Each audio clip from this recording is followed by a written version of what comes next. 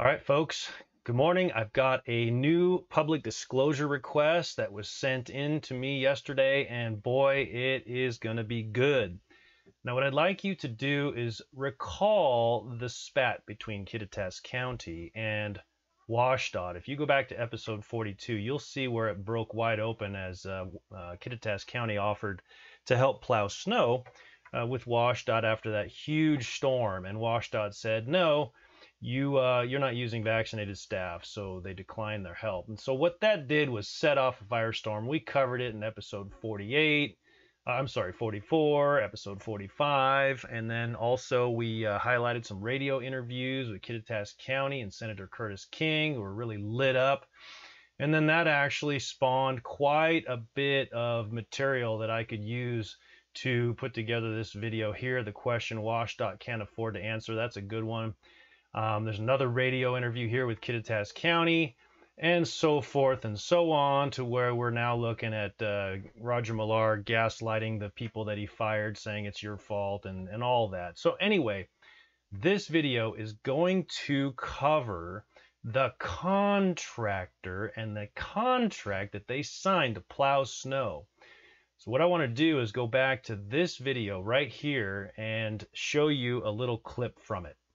So if you look at episode 42, you'll see this little blip right here where WashDOT said, right here, due to significant snowfall, Kittitas County Department of Public Works offered assistance to clear state roadways. Washington State informed Kittitas County they could not accept this assistance due to Kittitas County not mandating the COVID-19 vaccination for county employees. Now, Let's keep in mind the semantics and the image that is communicated by this. What it's saying is that Kittitas County did not mandate the COVID-19 vax. That means they didn't get their employees vaccinated. And because of that reason, WashDOT refused their help. So let us continue. So let's skip forward here to this episode, the question WashDOT cannot afford to answer, and see what Roger Millar told the legislature in regards to this issue with Kittitas County and the contractor, BKC Contracting, that WashDOT hired to plow snow instead of um, bringing on Kittitas County. So that episode covers an article, in part, there's a lot in that video, but there's an article it covers titled WashDOT accuses Kittitas County of misinformation on snow removal dispute. So there had been a lot of back and forth between the county and WashDOT, a lot of bad feelings, and Roger Millar goes to the legislature and he's basically saying that Kittitas County was lying about the way they represented this issue in terms of them hiring BKC uh, contracting. And you know what? Here's the thing I want to, uh, to tease out here. So Roger Millar says to the legislature that Kittitas County said, Why are you hiring a contractor to do that work? We could do it. So Kittitas County said, Why are you hiring a contractor? We can do it. What does Millar say? He says, We hired a contractor to do that work because they were able to declare that their employees were vaccinated.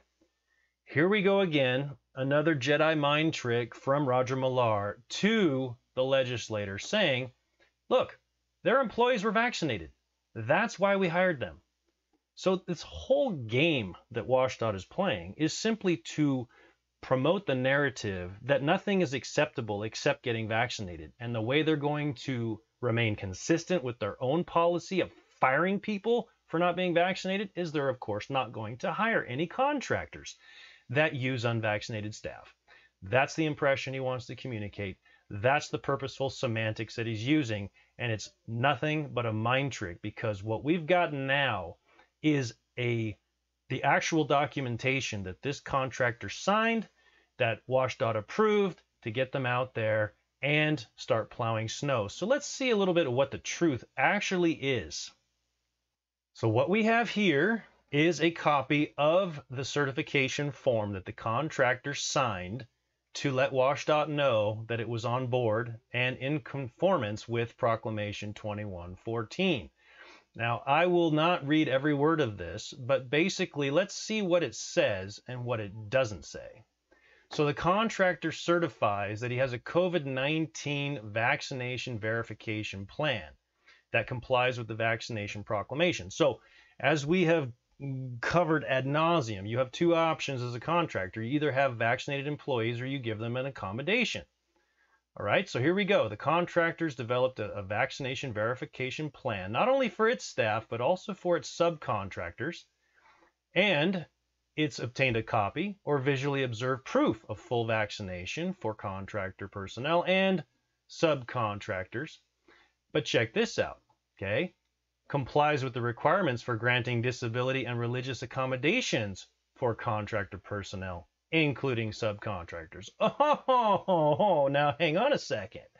There's two options here, one of which means you can give your staff an accommodation so they don't have to get vaccinated. Let's see what this says a little bit more. Okay, so you have operational procedures in place to make sure that your contact and risk of exposure is minimized. And uh, oh, here again, um, that per, and then basically activities that are performed by a contractor personnel and subcontractors will be performed by personnel who are fully vaccinated or properly exempted as required by the above proclamation. Hang on a second, Roger Millar. You told the legislature that they were all vaccinated. Um, when you knew the whole time that there were two options here, either vaxxed or accommodated. You didn't accommodate your own employees, you fired them and you don't want people to actually be aware of that fact. But uh, yeah, you have a uh, you have a contractor here who has the options you wouldn't even give your own personnel. All right. So basically, they're telling him here at the end, if you don't have a contract, uh, COVID-19 contractor vaccination verif- verification plan, you're not going to be considered. So BKC Contracting signed this, and they were good to go. Now, what I'd like to tie into here as well is that uh, WSDOT has the option to be able to follow through with this and actually call BS on them if they don't think that they're actually doing what they should do. And to show that this is the case, right here, number seven, will provide to agency, that's WSDOT, upon request, contractor's COVID-19 vaccination verification plan and related records, etc. So WSDOT has the option to actually look and see how many of these employees were granted accommodations and how many were vaccinated.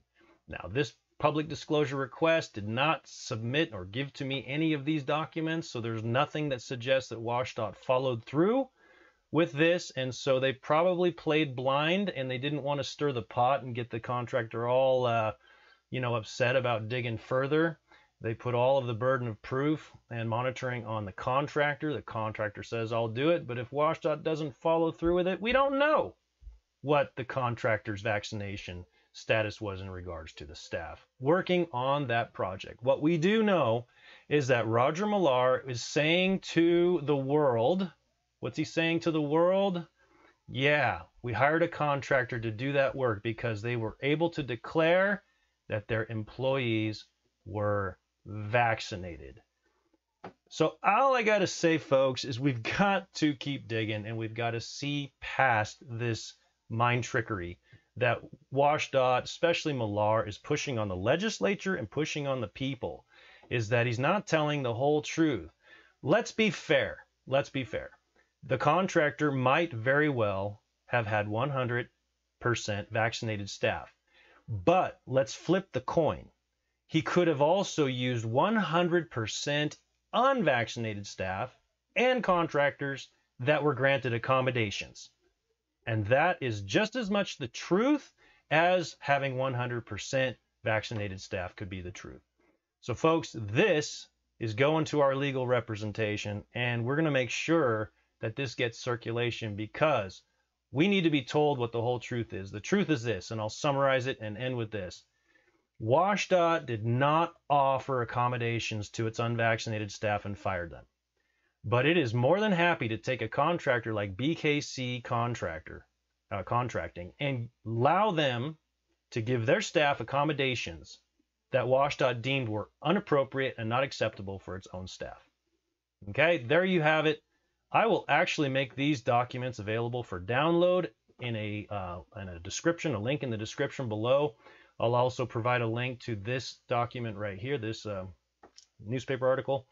And uh, so there you have it, folks. Life's getting busy. I'm not able to pop videos on as often as I was, but when stuff like this comes up, I wanted to get it up there. All right. Thanks for your attention. Y'all have a good day.